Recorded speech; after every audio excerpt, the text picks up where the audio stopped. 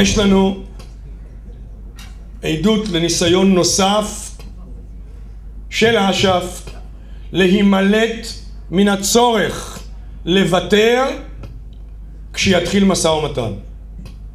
למשל, לקיים את הדרישה הישראלית הברורה בניגוד גמור למצע אש"ף להכיר במדינת ישראל כמדינתו של העם היהודי, קודמתי על הבמה הזאת עמדה על כך ועומדת על כך, ואחרים, כיוון שאחת ההחלטות של ועידת הפת"ח אוסרת, כפי שהם כתבו באופן מוחלט, שאין ממנו חזרה על הכרה במדינת ישראל כמדינה יהודית, אז תחשבו מה צפוי באותו משא ומתן.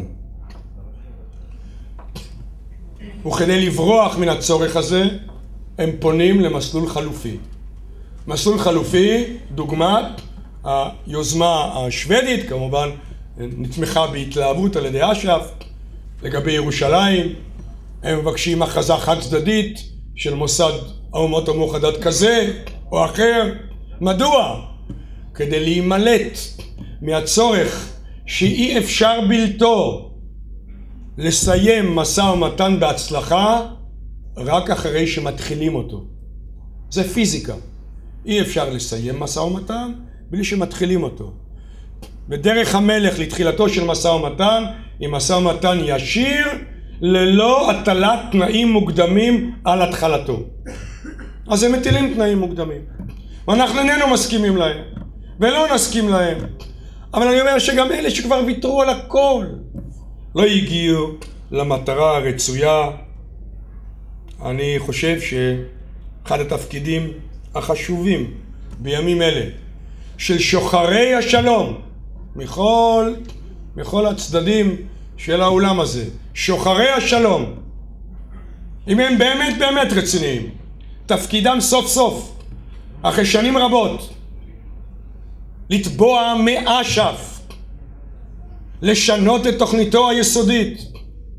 כי כל עוד התוכנית אומרת שחרור פלסטין, כלומר מירדן ועד הים, באמצעות חיסול הישות הציונית, גם ממשלה בראשותו של חברי הטוב חיים אורון ג'ומס לא תוכל להגיע איתם להסכם. אין גורם ציוני במדינת ישראל שיכול בתנאים אלה להגיע להסכם עם אש"ף. אין בנמצא.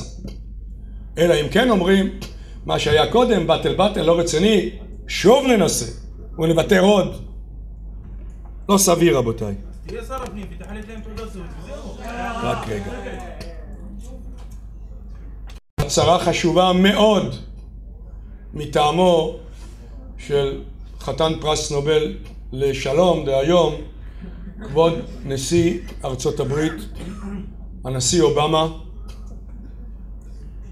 ידיד ישראל העומד בראש מדינת, מדינה הידידותית ביותר לישראל, ידידה חשובה, שיש לנו איתם מחלוקת. והמחלוקת הזאת על השולחן, למשל, בקשר לזכותם של יהודים לשבת בשומרון וביהודה. הם כופרים בה. אנחנו, אנחנו אה, חושבים שצריך לממש אותה. אבל הנשיא אמר היום שלפעמים לצורך השגת שלום צריך להילחם ברשע. אני חושב ששוחרי שלום ללא הצהרת הנשיא ובסיוע של הצהרת הנשיא החשובה צריכים לפנות ולתבוע סילוק הרשע כשמטרתו של גוף מדיני על דעת כל מנהיגותו שחרור פלסטין באמצעות חיסול הישות הציונית זהו רשע שאם לא יסולק מן הדרך לא יהיה הסדר. זו מטרה של כולנו. ובתנאים אלה אנחנו צריכים להיזהר מאוד שלא להיכנס לפינה שיש בה ייאוש שנובעת מן האמירה אם לא יהיה הסכם שלום סליחה, אם לא יהיה הסכם עם אש"ף, הלך עלינו. נגזרנו לנו. שמענו דיבורים כאלה. ואין הסכם.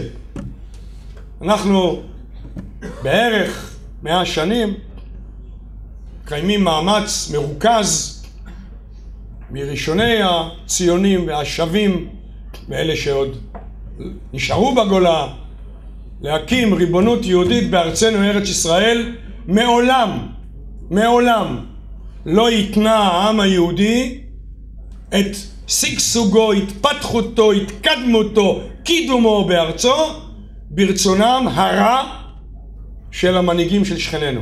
אף פעם לא הסכמנו לזאת. ומישהו עלול להגיע למסקנה כזאת.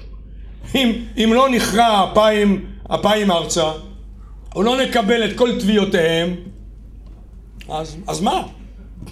ואנחנו כאן, במדינת ישראל, 60 שנה, בייחוד אם אפשר לומר, בתל, בתל אביב המעתירה, עם בתי הקפה ועם התרבות ועם הצעירים ועם הבלט ועם האופרה ועם הסימפוזיונים, כן, בקושי, תוך קשיים יותר נכון, לא בקושי, אני מסיים. ואנחנו עושים זאת, ולכן המסקנה בתנאים אלה איננה אלא לחזק ולהתחזק בארצנו, ואכן לקוות לימים טובים מאלה שיבואו רק אם נעמוד על זכויותינו היסודיות בארצנו. תודה רבה.